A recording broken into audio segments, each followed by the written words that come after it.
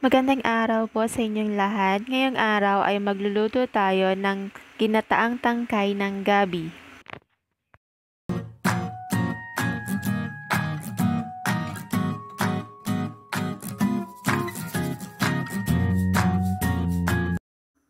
Kung sakaling magluluto po kayo nito, narito ang listahan ng mga sangkap.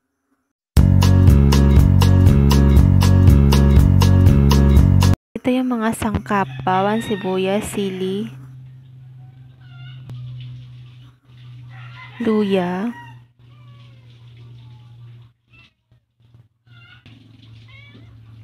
hinimay na tinapa,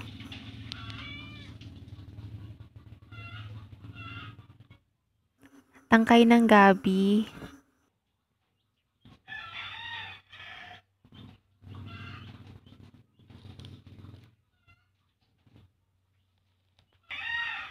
kakanggata or yung unang piga. Kailangan din natin ang pangalawang piga ng gata at asin. Yung pangalawang piga ng gata, ilagay na natin sa kawali at ilagay na din natin ang luya, sibuyas, bawang at hinimay na tinapa. Paalaala lang po, hindi pa natin dito binubuksan ng apoy. Lagyan na din po natin ng asin at pampalasa.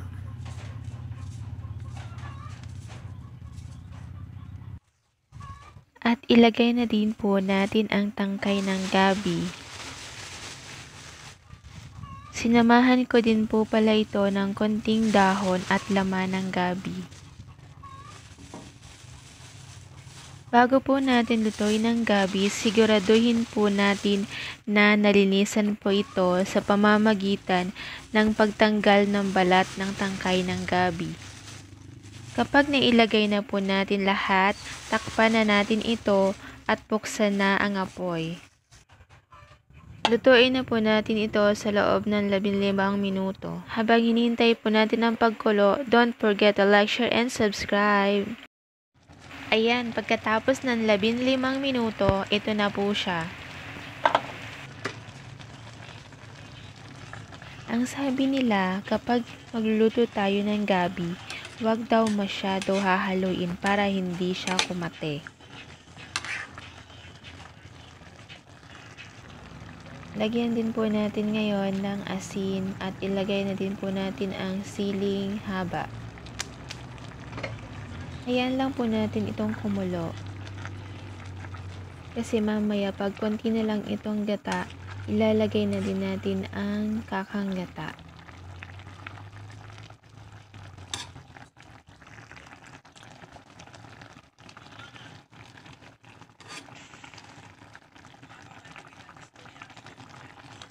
Ayan, nilagyan ko din po pala ito ng konting prinito na baboy.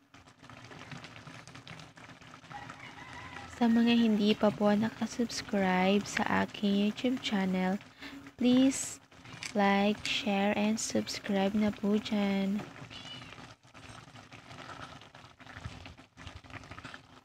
Ayan, mapapansin po natin na konti na lang ang kanyang gata. So, kailangan na po natin ilagay ang kakang gata o unang piga. Hahayaan lang po natin itong kumulo at wag na rin po natin takpan.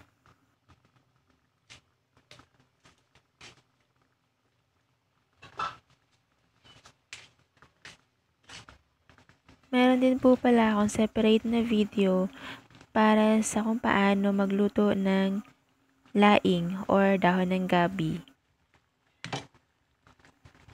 Kung naghahanap din po pala kayo ng video about sa pagluto ng laing or yung dahon ng gabi, mayroon din po akong separate na video. Ilalagay ko na lang po sa description box ang link para hindi na po kayo mahirapan maghanap.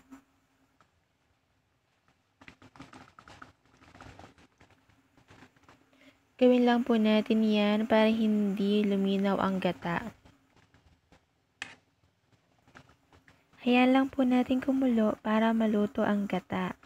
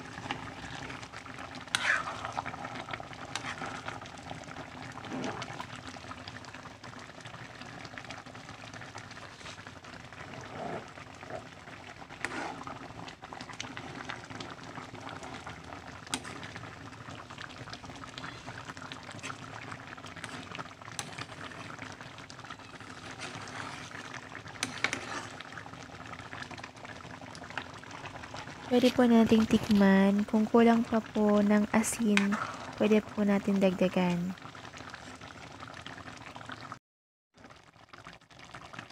Ayan, luto na po ang ginataang tangkay ng gabi. Ayan, kain na po tayo habang mainit pa at samahan na din po natin ang kanin. At kung nagustuhan nyo ang aking video ngayon, don't forget to like, share, and subscribe. Thank you for watching.